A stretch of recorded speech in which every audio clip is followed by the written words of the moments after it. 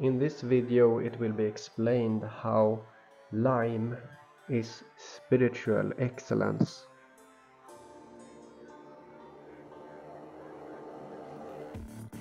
So lime originates in lim.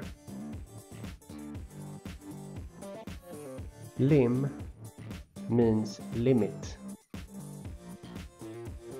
edge, boundary, threshold.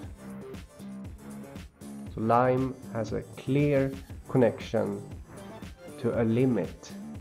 What limit? What kind of limit? You can see this in limen. Limen defines a sensory threshold beyond which a particular stimulus becomes perceivable. Furthermore, this is directly connected to religion. When it comes to spiritual excellence and being sublime where you can see that sublime is actually two words.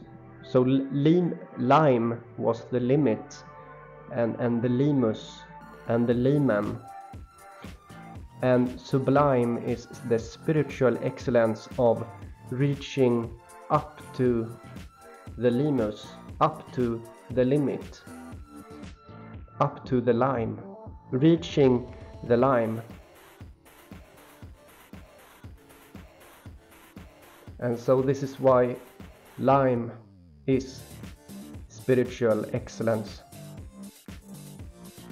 Thanks for listening.